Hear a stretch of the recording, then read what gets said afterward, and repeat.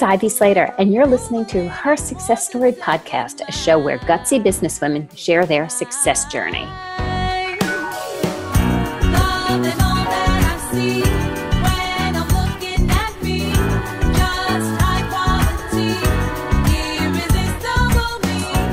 Hello, everybody, and welcome back. I'm so excited to have a really special guest today, uh, a guest that's connected through several people of people I, you know, people I know. So it's all, I'm always all about relationships, and the relationships in my life have brought me to our guest, Jo-Ná Williams. And she's a dynamic woman, started as an attorney and has now developed a whole business that she's going to share more. Um, I always say I could read your bio, Jo-Ná, but you you're so much more interesting than your bio. I'd rather hear from you. How in the world did you land having um, going from attorney to staying an attorney, developing a coaching business, speaking and making an impact on thousands of entrepreneurs. Um, yes, so thank you for having me. Super excited to be here um, and speak to all of your listeners. Um, how I became a attorney slash coach slash you know all the things. Um, I started off with my business model being that of a traditional law firm and um, and just realizing after growing it to um, to a really amazing level and seeing that there was so much more that I wanted to um, offer and what I ended up offering with with a lot of my legal clients was strategy and like you know business advice and you know spirituality advice and all of these other things that um, that we would end up talking about just in our sessions where we were talking about their legal work. And I realized that with my um, with my artist clients, they needed to know so much more than just how to take care of their their legal work. They needed to know about entrepreneurship. They needed to know about how to move themselves forward and negotiate and do all of these various different um, things that had to do with them creating their own foundations and living their life to um, to the fullest while they were pursuing their dreams in addition to what they need to know legally so um, the law is something that i feel was an entry point to something that that was so much more than what I had originally bargained for. But I'm grateful for that because I love being a lawyer and I also love the work that I do. So I would say that I'm definitely on track with what I was meant to do in this world so in in in growing this entity that will I'll just refer to it as for a moment. Um, what have been some of the challenges that you've faced in this journey? Um, I think that some of the challenges that I faced are things that many entrepreneurs face that around, um, for example, the financial piece eh, of knowing when you should uh, grow the business, when you should be conservative, what what what needs to happen in how you um, take care of your team versus take care of yourself, paying yourself, and when can you do that? And like all of these different things that have to do around finances. The other thing that comes up is um, to me, entrepreneurship is really such a great personal development tool. It's the best personal development tool because it's the relationship with yourself. So all of your stuff comes up. How you um, how you deal with relationships, how you put yourself out there, what you really want to do in this world, how you want to change what you do, um, how do you deal with um, you know romantic relationships and friendships and how do you communicate effectively? How do you you know discuss your boundaries? How do you do high quality work? All of these different things that come up that really are challenges around you know yourself as you're also trying to put your work out in the world and make a living to it which is very primal. So it's like you have this primal desire to take care of yourself take care of your business make sure that your basic needs are cared for and and you have this desire to continue to grow and be effective and love your um you know love the work that you do and have an impact. And and then there's the next level of like being philanthropic and giving to causes that you care about and all of these different things. And it all kind of goes back to the same center point which is you so I've encountered so many of those particular um, those particular aspects of growing as an entrepreneur, and I think that um, it has made me a better person because it also showed me where I wasn't being so great, where I was being a bit of an asshole sometimes, or where I was being really um, amazing, or where I didn't know that there were certain things about me that were really awesome that people said were great that I just thought were just me. They weren't things that made me unique or special, but people would say, no, this thing that you said really helped me, or this way that you um, the way that you worked with me, it impacted my life. And people email me from years ago or interviews that I've done or things like that. And you're not even realizing because you're just working and living and doing you. So it was just, you know, learning all of those different things, just facing myself and the way I want to put my expression out in the world, I think has been like the challenges. so I, you know, there's so much to take on, and I and I love that you're actually sharing and you're being incredibly authentic of how much there is to take on in in entrepreneurship and building out a business. Mm-hmm. Um, and I mean, I know going back to my early days as a business owner, early days, which I'm talking about like late 20s, early 30s um, that we had the luxury of our accountant used to come into the office every month and that's where i really got my mba in business you know that mm-hmm. i actually mm-hmm. learned how to manage money and how to deal with finance and mm-hmm. when, when, when do you push forward financially and when do you push back what do you hold on to how do you move your money around um, mm-hmm. and there's a piece here that as i'm hearing you talk is I'd love to ask you about the vulnerability of putting yourself out there. As, as we establish, you know, our own entrepreneurship, we're putting ourselves out there in a very vulnerable way. Yes. How how have you navigated that? Um, I think the biggest thing that when I first when I first became an entrepreneur, I really just didn't care about if people cared about what I was doing. I wasn't worried about that because I was so mission driven. I was just like, I have to, I like my goal is to empower artists. We gotta help them. And da, da, da, Like I started off with my law firm being called the Artist Empowerment Firm. So it was so about that that I really didn't care about if people cared about this mission because I knew from previously being an artist that it was necessary and it was important and that it needed to be done, right? So when I initially started, I didn't have that. But then as as I started to grow and evolve as a human being and you know face all of those things that other people face um, as you're kind of putting your work out in the world. And the deeper that I started to care about it, the the more I felt precious about it sometimes, the more sensitive I felt about it, or when I felt like people didn't get it. There were times where um, where I felt like, man, you know, I, I I have to figure out how to explain this better. I have to figure out how to do this better, or what's wrong with me. You know what I'm saying? Like there there's all of that, right? You know, like you're you know you're you're really trying to to you know you're trying to ride the horse and trying to figure out how to get the saddle up there and jump on it and hold the reins and it's bouncing around. Like you're doing all of that. And um and so and in this stage of being an entrepreneur um you know i feel like that happened all like kind of in the startup phase. And now that i'm on the other side of that i think that what has happened now that has helped me is to not take anything personally. I trust in um, in power that's greater than me. And i trust that the right people will come to me and the right people will work with me. And i will be drawn to the right relationships the right circumstances the right people.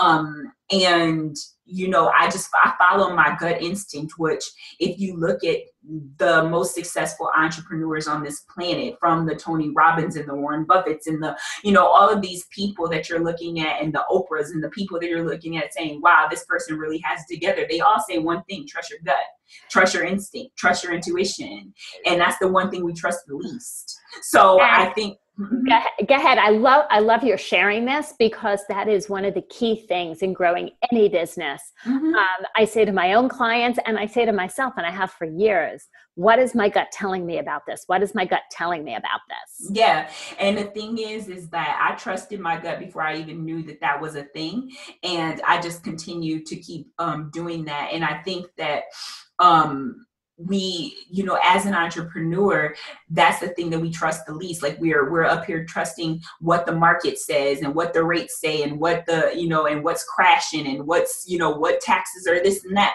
And you're looking at all of these things and you'll start to get confused. You're getting your head and you're like what? I don't know what to do. You know you'll start to feel that frustration. But you have a voice inside of you. Your your inner guide you have that. And that is the voice that's going to ultimately lead you down the path that is the the right path for you. So you have to learn to hear it, listen to it, and trust it and act accordingly in alignment with it. And I think that um, that's where I am now um, and have been for quite some time. And, and it hasn't led me astray ever. So, that voice hasn't. okay, so now, now I, I am going to run with this for a sec here. Mm-hmm. So, based on trusting our, trusting our gut, which we're both believers in, Mm-hmm. Has any surprises, like all of a sudden, like, you know what, we, I, I, have a feeling we both are strong believers in the laws of the universe and, mm-hmm.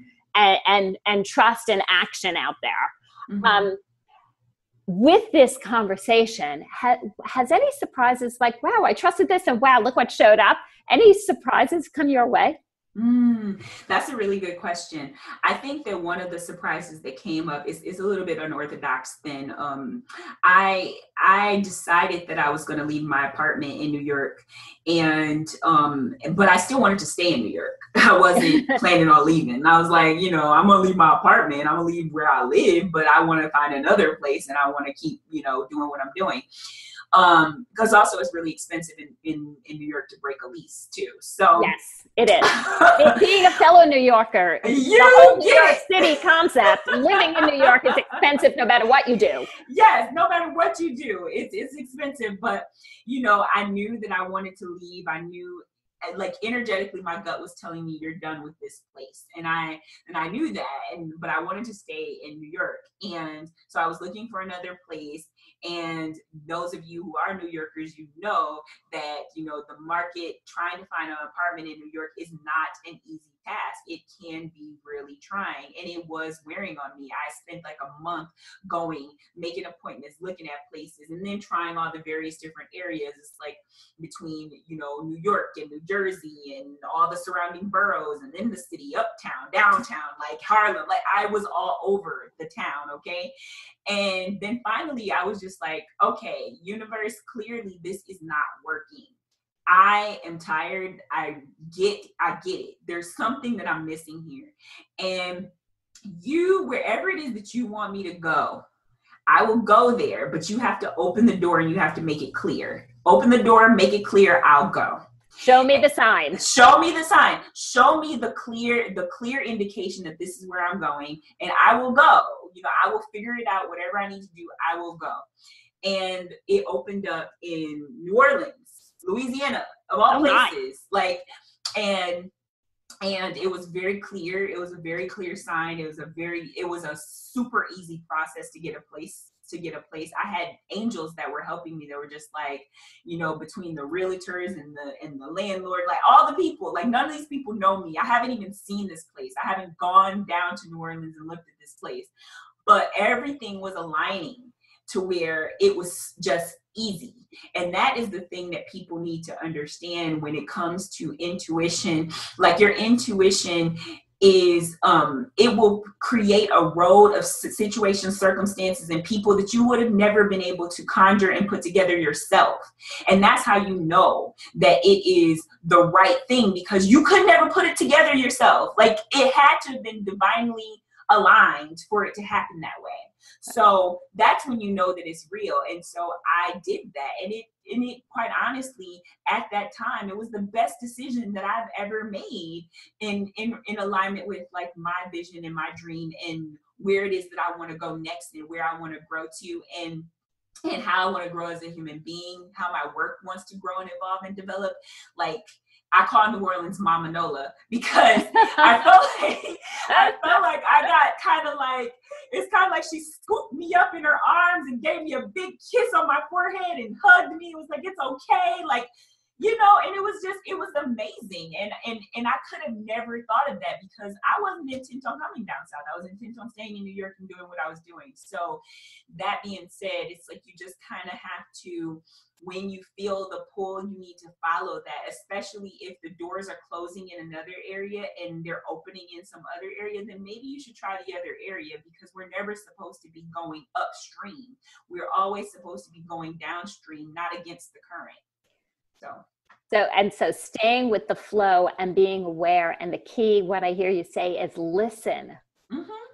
Yes. Listen to what's going on. Stop fighting it and, and, and letting go of the resistance. And letting go of what you think is the best idea for you, because it may not be. You have an idea in your head of what you think the best thing is, but it may not be. You know what I mean? It may not be. It might be um, your strategic plan might have been created out of certain situations, certain circumstances, certain you know wounds, certain things that were going on that have nothing to do with what's really right for you. So if the universe is sending you in a different direction, instead of resisting that direction, maybe try embracing it and things might get a little better for you as opposed to being so attached to the way it has to happen. Just you ultimately, we all just want to be happy you know, we all want to be happy. We all want to do good work. We all want to help people. Like that's what we want. So does it really matter how it comes about, or is that just you being a control freak? Yeah, and sometimes our biggest problems is letting go, go of control. Yes. And I'm not saying it like I'm preaching from the mountaintop about this, okay? Like I have had the situations where I felt like um, you know, where I wanted to not let go of control, even around the search for an apartment, you know, like just I know where I wanted to be, I know what I wanted to look like, and all of that. And at the end of the day, I landed in this gorgeous city, in this beautiful place that just kind of came and was handed to me the same way my New York apartment was kind of handed to me. So it's like you can't you you have an idea but maybe just maybe if you trust that the universe is actually looking out for you and it's actually bringing you to the desires that you want if you let go of the way that it has to come about you will still get what you want um, I, I, you're, you're, you're preaching to the choir because I so agree with you. And, you know, I'll out myself because I, I usually just will just put crap out there. Mm-hmm. Uh, the, some of the toughest things for me to do is to release control. I am a control mm-hmm. freak. I like to have things handled. Mm-hmm. Yet I also have a strong belief that I trust the universe and I trust the, the system, the journey, the process. Mm-hmm. Um, and I don't think in strong women that you know we're aware of it and we always have to continually check in Remind, mm-hmm. remember, remind ourselves to check in and say, "Hey, am I trying to control this? Am I flowing with it?" Mm-hmm. It's true, and I think that one of the things that we don't pay attention to is we don't pay attention to the fact that um, you know everybody talks about releasing the outcome, but in actuality, mm-hmm. it's like release the process. you know yeah.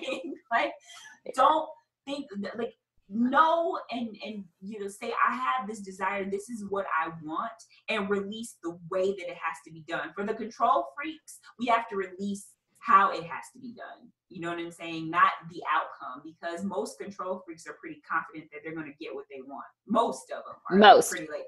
Most most control freaks are like, I'm gonna get it. I'm want what I want. I'm gonna get what I want, and I'm gonna control it until I get it, like kind of thing, right? But if you actually say, okay, I know what I want, and keep the keep the keep the uh, confidence around, I know what I want, and I desire it, and I'm going to get it. But I'm not attached to the way that it has to come about. I'm not attached to the process of how it has to come about, then that's where the magic can start happening. And then you get out of your own way. Because a lot of times when we're in control, we're getting in our own way and we're not allowing the universe to do its part in the work. And all that is all that is is just attachment and it's not going to lead ultimately to your happiness because the universe wants you to be happy but it also needs you to get the hell out of the way so uh, touche touche my friend let them let it do let it do its work so it's true um a question for you you obviously have um built a great business and built a great life for yourself. Mm-hmm. And sometimes we forget that, you know, building a business is in to achieve having a great life, not instead of. Yeah. Um, and so often there is relationships that in our journey that have been, you know, um, made huge impacts. Has there been any specific relationships that you can say, you know what, I so value this relationship? Yeah. Um, I would say that my relationship with Marie, um, Marie Forleo, right, um, has been a huge. Um, my relationship with that woman has definitely um, affected me in some very deep and profound ways, um, and and it it's I feel very blessed to have been um, to have worked for her and to have learned from her example. Like she's a very um she's a very dynamic and really a good person in, inside um just like a good human being.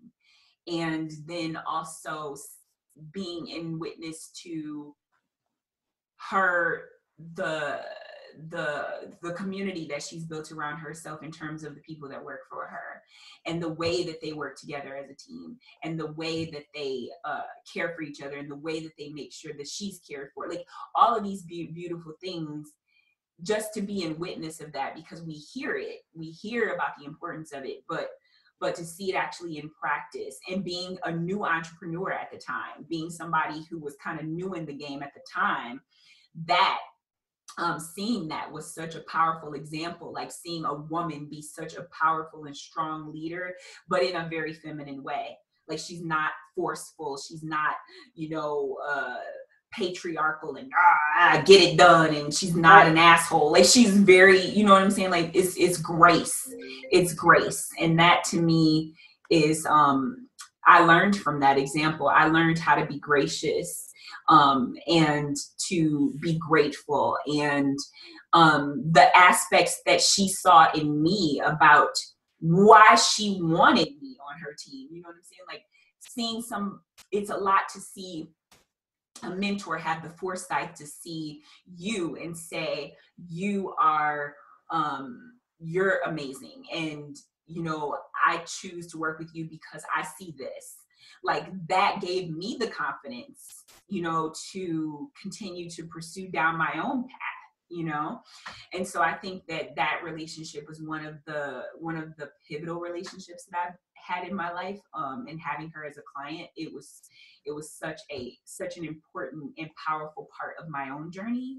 And I would say, um, one of the other relationships that really, really impacted me was my relationship with my assistant. Mm. Um, because she was so uh, such a stand for my business and such a stand for me and just realizing the importance of like being a woman and saying I deserve support. I deserve good support. I des- I deserve. So you know, it's interesting because so I'm I'm going to reach here because I don't know this information. So I want to ask a couple of questions. Did you start as an attorney in New York? Yeah, I'm a um I am an attorney in New York. Like my um my um license is New York. Mm-hmm. So, you know, very much, you know, this city, New York City is is very much a boys club, especially in that field. And then mm-hmm. seeing the other side of what a woman business owner can be, that she can be strong, she can be mm-hmm. decisive, she can be mm-hmm. smart, and it's not even can be she is you know she's a strong woman a decisive woman a smart woman and she doesn't have to be a man. No she doesn't. She can still be feminine and and can be gracious and um and you know you can have grace and not be a pushover. You know a very a, a, a really powerful example of that is michelle obama. You Absolutely. know she, she's so graceful and she's so gracious but you can also tell that she's also very strong and she's not a pushover. Like she's grounded and confident and powerful and all of those things and also she's somebody you want to hug you know what I'm saying? Like, you know, like you want right. to like sit down and have it, tea with her and be oh, like. You took the words right out of my mouth. I was like, that's a woman I want to sit down and have a cup of tea with. Right. And I and we feel we can. And there's right. something here about women in leadership that mm-hmm. women leaders don't need to be men. We don't also need to be assholes, as you well said. We don't have to be obnoxious. We don't have to be mean. We don't have to be dictatorial. Mm-hmm. And we women don't have leaders to, we, today get to define what that looks like. It's true. And we also see that honestly, um, I read something the other day that says the patriarchy doesn't work for men or women. And I was like, hallelujah, that is the truth. Because it's not just about being a man or a woman, it's about this patriarchal way of operating in business and in life that doesn't work for anyone. it doesn't work for any of us. Okay. Right. Um, so quite honestly, I feel like we need to create new models, like the old boys club and that old dictatorship type model it all needs to be disbanded and we need to um, integrate and come together and put together systems that will allow all of us to thrive. And i'm not talking about politically i'm just talking about um, if we're talking about business. You know you you can't just be it's all about the business surviving and you don't think about the people who are running it you know? And i've seen you know, we've all had bad bosses where they don't care about your time off. They don't care that you're having a baby. They don't care that you need right. to spend time with your family. They don't care that you need to get off at a reasonable hour. They don't care about anything other than seeing the business thrive. And that doesn't motivate the team it doesn't no. make them feel like they want to do the best for the team. So, what I've seen work in leadership is knowing that the leader actually cares about you just as much as you're all coming together to see the business thrive. The business is like a baby, and the village is raising the child. And you have to think about it in that way. And you know what? I am, I'm completely endorse that. And I think it's women leaders today who are changing the way women are in business. And you're right, it's about the village raising the baby. No one woman or one business owner or one leader makes a company. Right. I agree with that 100%. And to see the way, um, and you know, I've been in a practice of really paying attention to um, leaders because that's the place that I want to play in terms of being a really good leader and not just a good leader from being a great speaker or being somebody who does the work that I do well, but being some but being someone that is also um, that pays attention to how you treat people, how you motivate people, how what are the things that make people tick, that make people want to do the best job? What are the things how can you honor them? And when i'm working with my clients in my mastermind right now i um you know with one of my clients um she had a team member go above and beyond and do a fabulous job. And i said well how can you honor him? What do you know about him? And she didn't know anything. And i was like you need to know about like you know what kind of things that he likes. What does he do in his spare time? Can you instead of just buying him food which should just be a given you should just you know provide food for your team instead of just doing that, can you get him his favorite, you know, brand of bur- bourbon?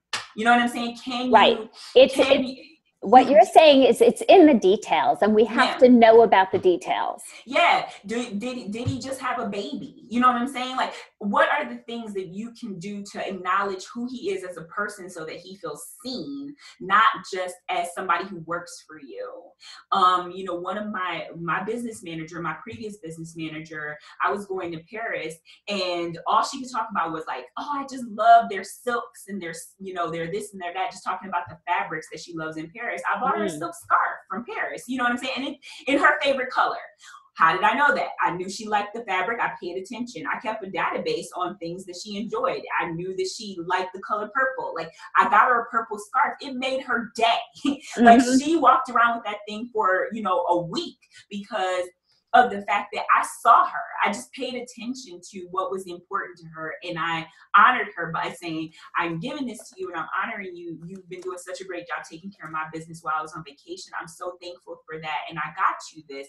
And she felt appreciated and i think that you you need to understand that behind these computers are actually people and how is it that you can connect with them on that level and that doesn't take away from them being productive it just makes them more productive right so, in closing, any particular one tip? Because we you, we've this um, interview, which I love, has covered a lot of tips for women for women who are building businesses out there, and yes scaling businesses and expanding businesses. If there's a little summary of like, gee, you know what? And all this great, great info, here's one thing don't forget. Um, I had another thing in my head, but then universe popped in and, and was like, okay, this is what you're gonna say.